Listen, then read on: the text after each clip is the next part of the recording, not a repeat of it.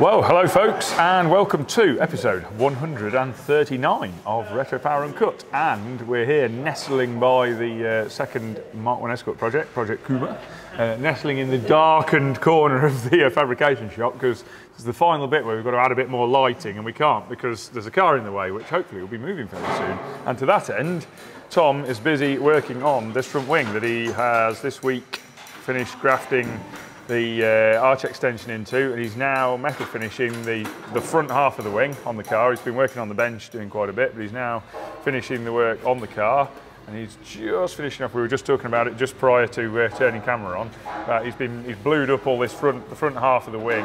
Uh, you can just see a few traces up here used. You got the blue. Yeah, yeah. the uh, he's uh, blued that up with the Dykem blue uh, layout fluid. It's a really thin ink, basically. Uh, you'll probably be familiar with it anyway. But it's basically a really thin blue ink. Put that on the panel. When you think you're getting somewhere near, when it all feels pretty good by hand and that the, the quality of the, the surface all feels pretty good, you, you get some of this out and depress yourself, basically. You put that all over it, go over it with the body file, and that'll show you again all the high spots and low spots. And what looked pretty good when you just filed the steel suddenly looks pretty bad when you put the blue on it because it's it's such a thin coating that it, it, it's very revealing. It shows any uh, any high and low spots at all. So he's now blued the front half and then been uh, pan, panel beating, tapping up with the slapper and dolly. The, the key tools being a slapper and dolly to bring up the low spots uh, and take down any high spots, and then the body file to just then to then sweep over that, pull off any of the blue again, take the high spots, just skim over all the high spots and expose them, and then go back down, back over, take those down, take the low spots back up again, and then again repeat and repeat and repeat and repeat and repeat, and after a lot of hours, you end up with something uh, uh, like the front of that wing is now, where basically there are no, other than tiny pits around the welds, there are no high and low spots, and it's all looking really good. So yeah, it's getting very, very close to all correct this wing now. The next step will be, we're Thursday now, so next week we'll be on to starting on the, the wing the far side and that's the final corner of this car, getting the uh, the arch extension graph, well, the original big big wing take cut out, and then the new the new smaller arch extension grafted in that side, and then probably roll, you know, rolling into the following week, getting that one metal finished. We'll be getting pretty then pretty close to the outside metalwork being somewhere near. And then the next phase after that will be obviously this car coming off the lift and onto the rotisserie to do any underside finishing. So that's where we're at on that. I'll leave Tom to his file, and we'll uh, we'll move on to oh. There's always something waiting around the corner to trip Jamie up. So uh, we'll come over here at this point. I'll just move these bits off here. Steve's, uh, Steve's just started work in the background on this, doing a bit of paint strip, cleaning up the uh, roof. But uh, as you can see, Stu is working on uh, Project Churchill, which is on its wheels uh, for the first time since first time since the car since we started the project, isn't it? It's been off the jig. Yeah, first time in quite a long time. I don't even know how long. How many? Nearly 18 months. Nearly 18 months. There you go. First time in nearly 18 months that this car has not been attached to that Celette jig next to me.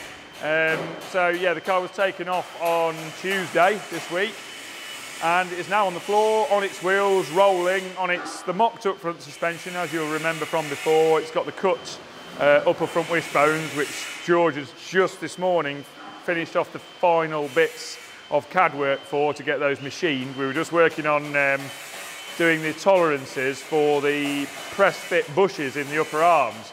It's a bit difficult because we've got a selection of bushes and measuring them all, they're all slightly vary, they all vary in diameter a little bit. So working out, making sure that the smallest bush is still a press fit in the arm while not making the biggest bush too tight a press fit. So there's been a bit of uh, there's been a bit of fiddling around going on there, but George has got all that finally uh, sorted out and buttoned up.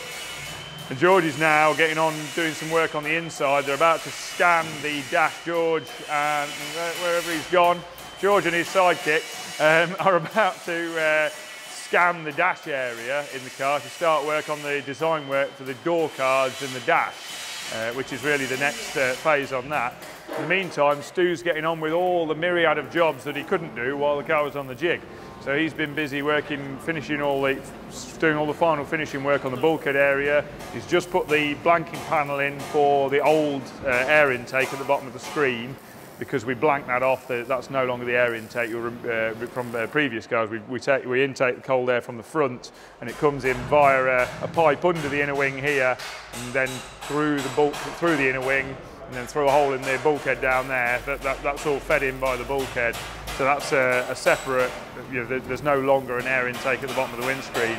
So that's going to be lead loaded and, uh, and lead filled. So that's one of the, uh, the next phases of jobs on that. And then I think Stu's going to be on to, you're really on to metal finishing. A lot of, basically a lot of what's going on on the Escort on this then. A lot of metal finishing work, metal finishing the doors, metal finishing the quarter panels, doing some metal finishing on the roof. As I say, Steve's just been uh, DA sanding the roof because there's various bits of filler in it. Uh, and he's also been stripping the bonnet, getting that back to bare metal as well, so we can do any final finishing work on that. But yeah, nice to see it. I mean, the engine bay is looking brilliant now. Now Stu's pulled the engine out, he could get in and do the metal finishing work, you know, not metal finishing, or just all the finished welding uh, in the engine bay and getting all that tidied up, all, the, all the welds finished, all the bits of box section capped off, and everything just tidy in the engine bay. And it's, it's, looking, it's looking absolutely stunning now. It's getting very, very close. Um, yeah, that's pretty much where we're at on that. I think, have I, have I missed anything very obvious? I don't think so. It's just, it's just great to see it on the floor. I mean, go, go, go, rewinding slightly again on that. The, the, we, we talked earlier on, I think I commented on a video going back some months about how low the car was going to look uh, when it was off the jig. And you now get the idea of that, how low the roof line is. If I walk around here, you know, this is just extremely low roof line now. It's, it's, it's, quite a, it's quite an impressive, it's just, just a superb looking thing. We're all really uh, really very pleased with how it's all worked out and I'm hopeful that most, most viewers will agree. I think, think they probably will. Um, that it, it's quite a stunning looking car. We're, uh, we're certainly very proud of it. So I think that's where we're at on that and we'll move along. Uh, we're going to, I'm going to briefly touch on the body shop.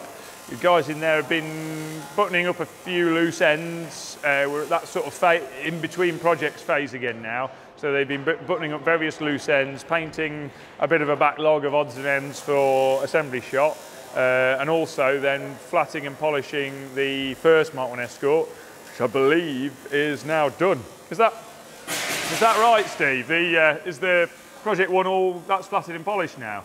That's all done, yeah, yeah. I just wanted to confirm that, yeah, so the Project One Escort is now complete, and polished, all done, paintwork complete. Uh, and that'll be rolling on very quickly in assembly shop now with with the uh, assembly work. So there's a lot of work going on in the background um, that I'll, you know, Cal may or may not mention this week, but there's lots going on in the background in terms of getting uh, the parts required for that all lined up and sorted out, fasteners, coating processes, all that side of things all getting done in there, ready for that.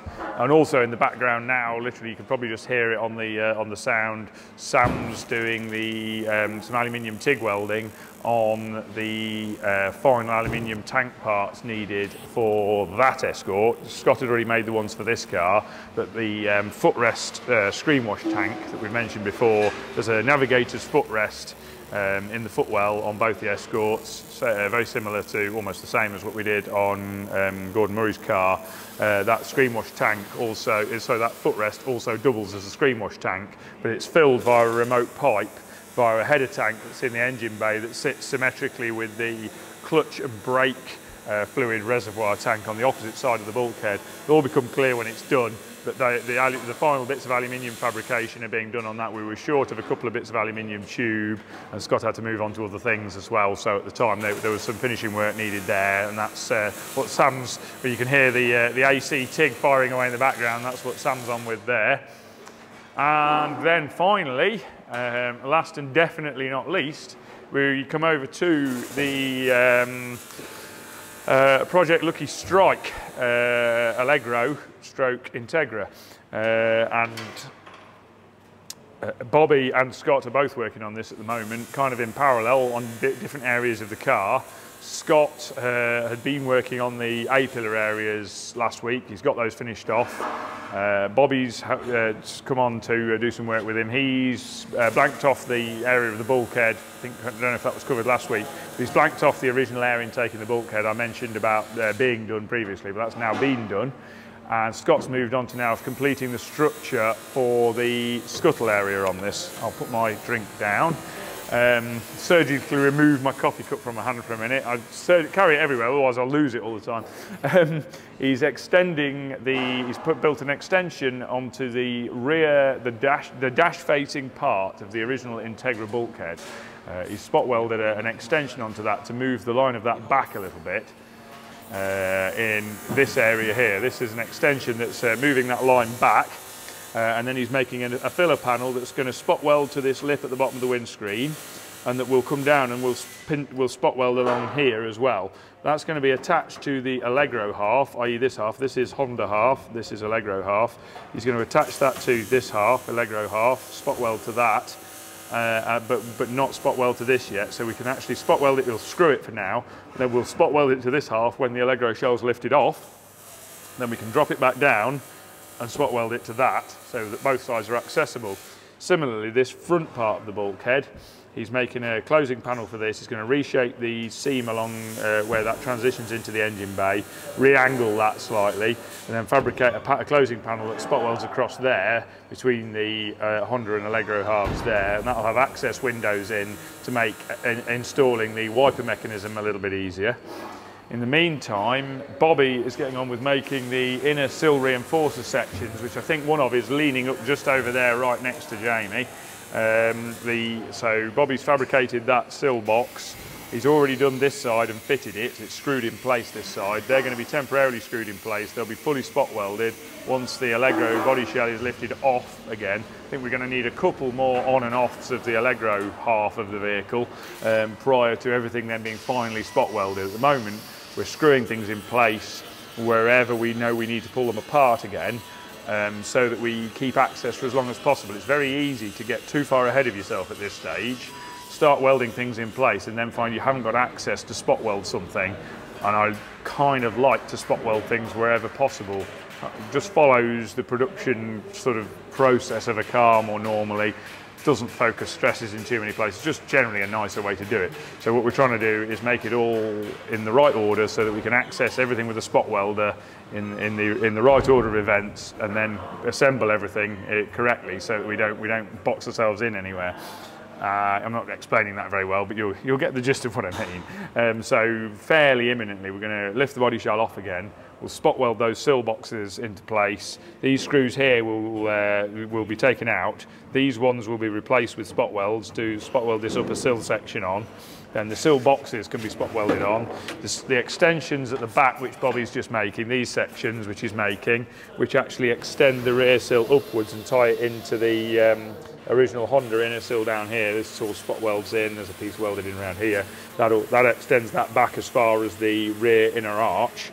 That'll all be spot welded in place. So that's all the inner sill and then the sill inner reinforcer box all in place. So then it'll just be the outer sill. We're going to replace the outer sill entirely. What the this sill step, the door step section, uh, will be taken off and we will remake that with a complete new outer sill which clears the new inner reinforcer box section and then that will all be again temporarily screwed into place. We'll lower the Allegro body outer body shell upper part back over it and then that will all be welded in place. And then that will leave us with the rear sill outer section which we're going to remove from the bottom of the quarter panel. And we will refinish the bottom lip on the quarter panel where it's originally spot welded on top of the sill such that that is no longer linked. We'll put screws through that into the new, in, into the new outer sill section but we'll leave that unwelded because as we've touched on before, the quarter panels on this car will be carbon fibre and a different shape and they will be that will be glued in place. So we'll put uh, re, um, we'll put these tightenable. I haven't got one in front of me. We've got these these Cleco uh, fasteners, one eighth inch sprung Cleco fasteners. We have screw type ones which actually tighten up with a spanner as well. Similar function to these, but they tighten up with a spanner. We'll actually panel pin or Cleco those in place with the screw type Clecos.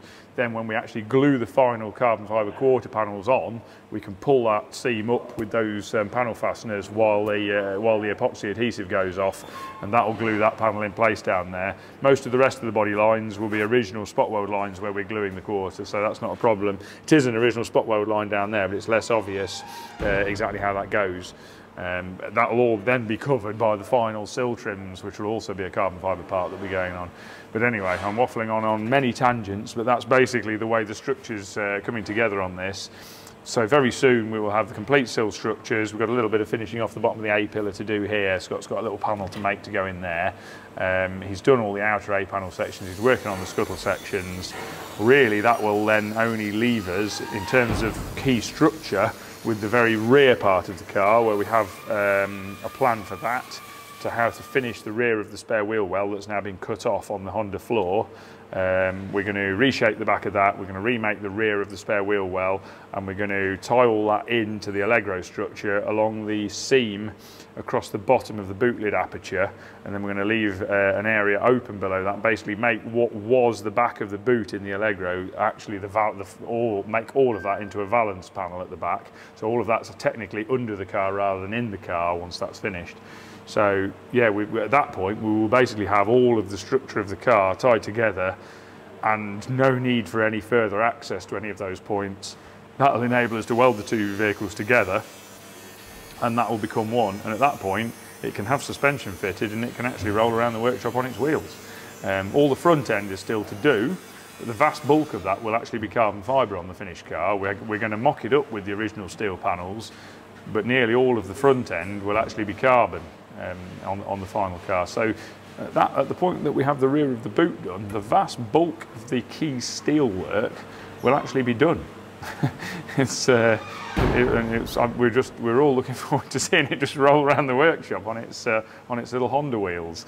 So yeah, that's it. But it, that won't be too far in the future. Uh, and on that note, I think we've pretty much covered everything in here. So I will hand over to Cal. Yeah. You'll have a thick ear, boy. Sugar for Sam.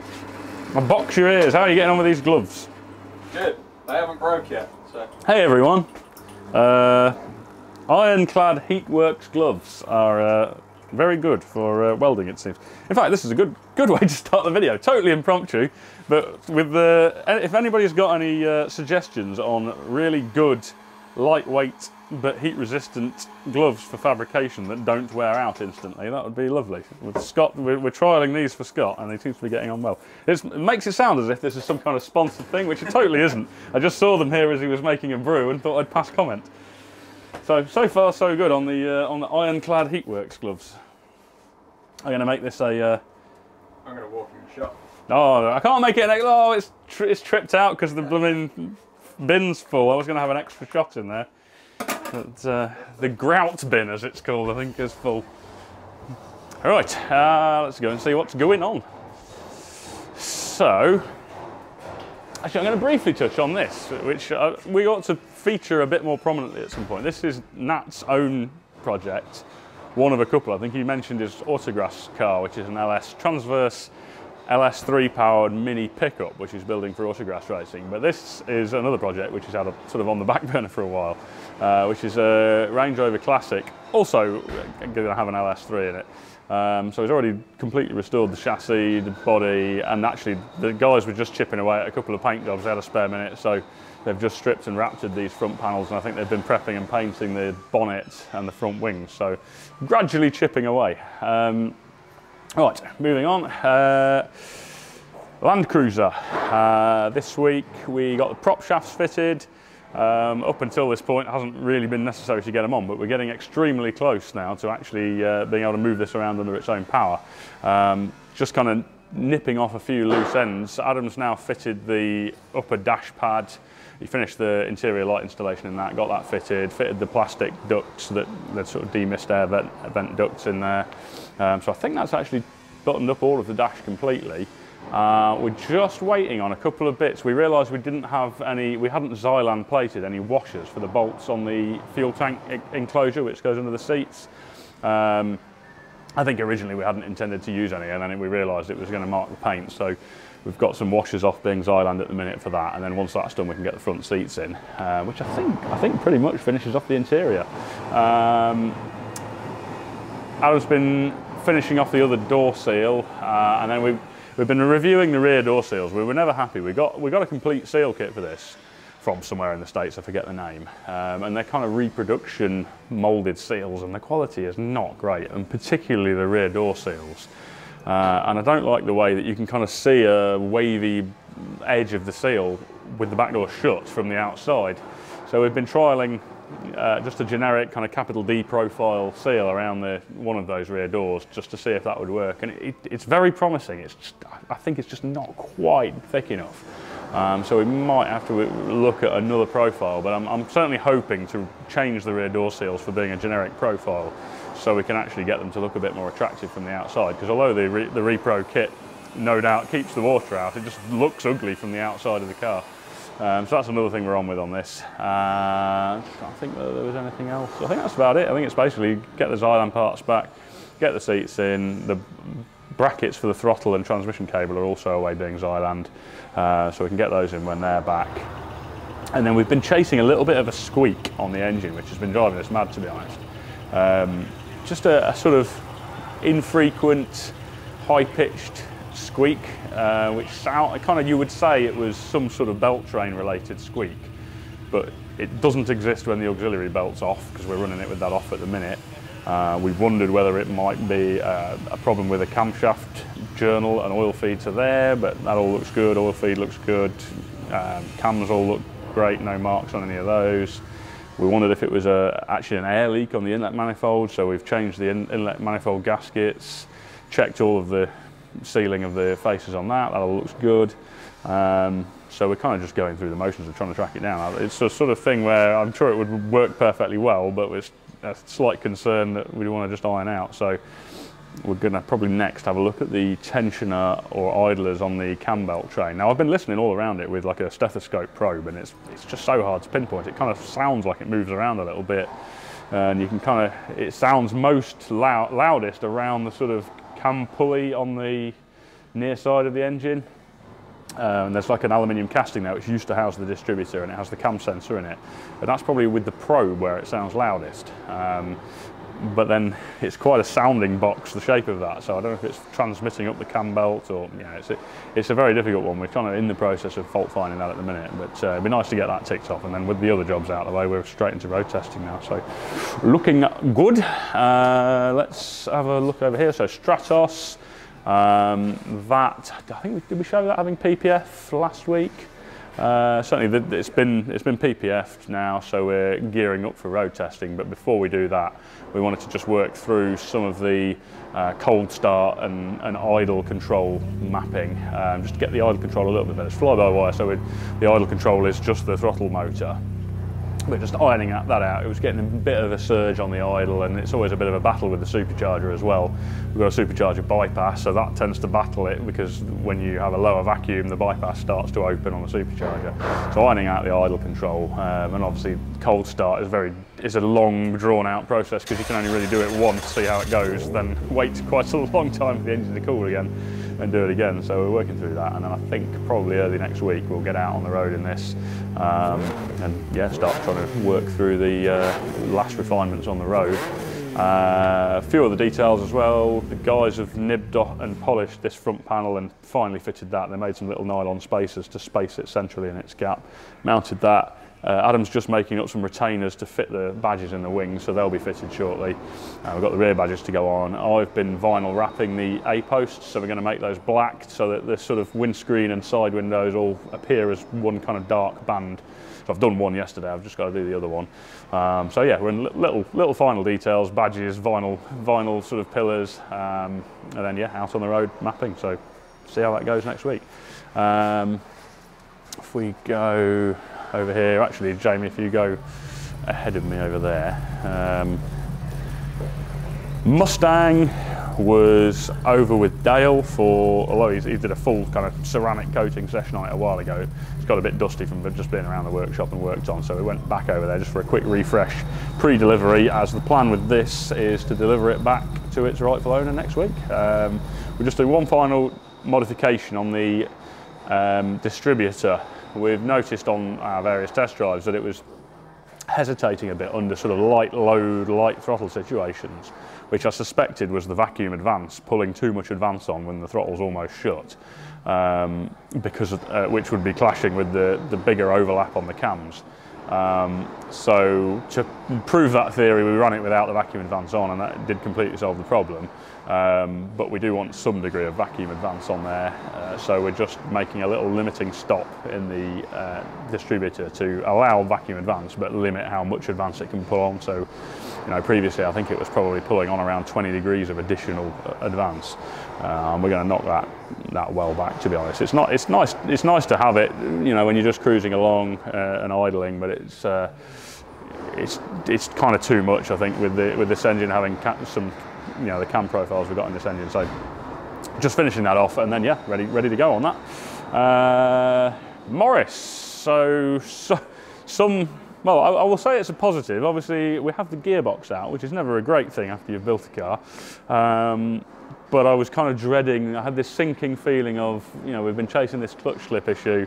Are we going to pull the gearbox out, look at it, go, yes, everything looks fine, and then still be scratching our heads over what it was? Uh, but that hasn't been the case. We've taken it all apart, and the clutch kit, uh, which was supplied as a kit, uh, does not appear to have enough clamping force. So we've only got the, the, I mean, just laying it here on the bench, the friction plates, I think it was about 0.5 or 0.6 of a mil proud of the actual mounting face of the pressure plate, which uh, is, is well under what it needs to be. My suspicion is that this pressure plate actually needs an 8 mil thick friction disc, and this is more like 7 or just over 7. Um, so we're going to sort out a, a, replacement friction plate for this, which will have the appropriate amount of clamping force. So slightly irritated. Uh, if, those, if long-term followers will remember we had a very similar problem with um, Gordon's car where we were chasing a problem which turned out to be a faulty clutch kit.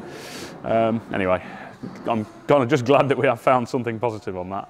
Uh, and then James, in the meantime, has been working on the handbrake lever. So he's machined up a nice grip for the handbrake lever. Uh, he's made a mounting for uh, a micro switch for the warning light on the handbrake, and he's just making a little um, sort of bezel plate or retainer plate, shall we say, that bolts down under the handbrake and will in turn mount a bezel which finishes off the gaiter on the handbrake. Uh, I think he's also done the um, gear gaiter, attached that to the bezel which we already had. Um, so last details really on that, which we're just ticking through whilst we kind of get through this mechanical job. Hopefully we'll resolve this, get the gearbox in, and then I'll be back out on the road for the next uh, next series of tests on this.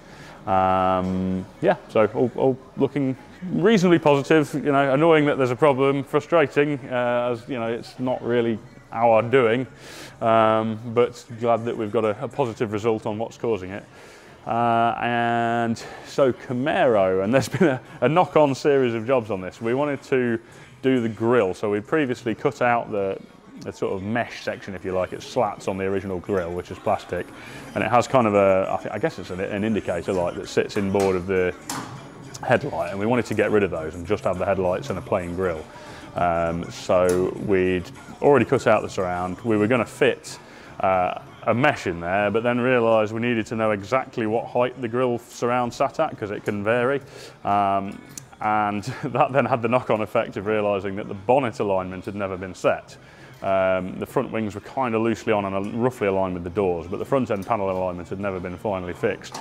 Uh, so that's then meant that Anthony's had to go through and start doing all the final alignment. So scuttle panel, doors to wings, bonnet to wings, and then with the, the end result of getting the, the front sort of slam panel in there, or nose panel, um, so we can then work out the height that the grill needs to be to get the mesh into the grill. So all jobs that needed doing, but, but a kind of a domino effect of things which we hadn't uh, thought of until the last minute.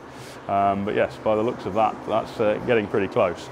Um, and then yeah, we'll have that grill that will allow us to get all the front end together, and uh, yeah, it's all going to take shape in the front there. So it's uh, been a long time coming, but it's from the initial renders we did so long ago of how that engine bay was going to look. It's just great to see it all kind of coming together uh, finally.